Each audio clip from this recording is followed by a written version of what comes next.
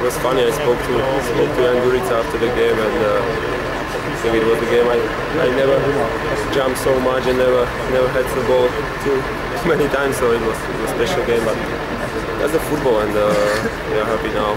We get a few points, and looking forward for the next game on Tuesday. All right. All right, thank you.